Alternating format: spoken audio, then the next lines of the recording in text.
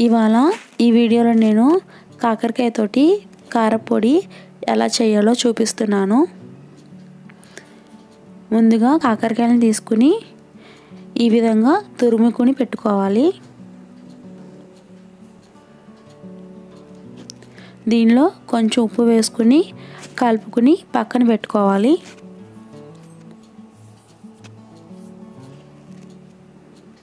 ఇప్పుడు స్టవ్ వెలిగించుకుని ఒక ప్యాన్ పెట్టుకోవాలి.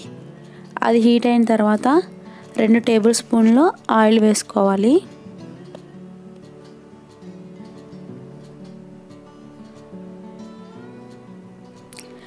ఆయిల్ హీట్ అయిన తర్వాత ఒక టేబుల్ స్పూన్ పచ్చిశనగపప్పు వేసుకోవాలి.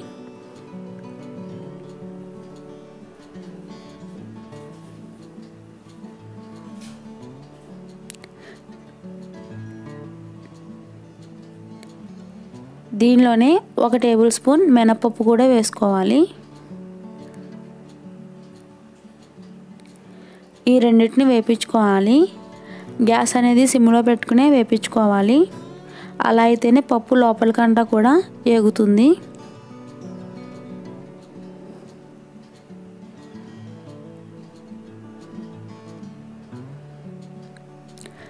ఈ విధంగా వేగిన తర్వాత దీనిలో ఒక టీ స్పూన్ జీలకర్ర వేసుకోవాలి.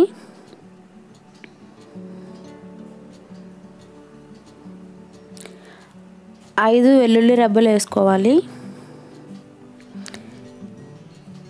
ఇవి వేగిన తర్వాత ఒక టేబుల్ స్పూన్ ధనియాలు వేసుకోవాలి.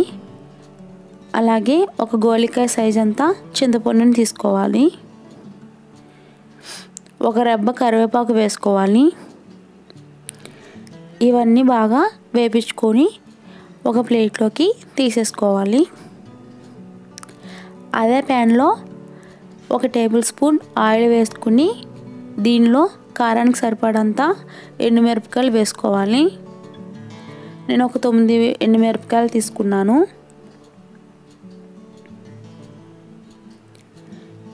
ఇవి కూడా వేగిన తర్వాత అదే ప్లేట్లోకి తీసేసుకుందాం.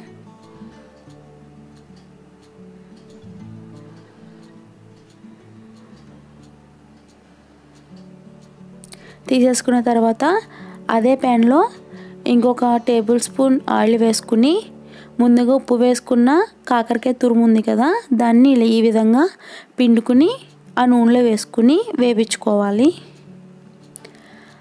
కాకరకాయ తురుము ఈ విధంగా గోల్డెన్ బ్రౌన్ కలర్ వచ్చేంత వరకు వేపించుకోవాలి. ఇది కూడా మీడియం ఫ్లేమ్లో ఉండి వేపించుకోవాలి. ఇప్పుడు ఒక మిక్సీ జార్ తీసుకుని దానిలో ముందుగా వేపించుకున్న శనగపప్పు మినపప్పు అవన్నీ ఉన్నాయి కదా. అవన్నీ మిక్సీ జార్లో వేసుకుని రుచికి సరిపడినంత ఉప్పు వేసుకోవాలి. అవన్నీ పౌడర్ పట్టాక కాకరకాయ తురుము కూడా వేసుకుని పౌడర్ పట్టుకోవాలి. అంతే ఎంతో టేస్టీ అయిన కాకరకాయ కారపొడి రెడీ అయిపోయింది.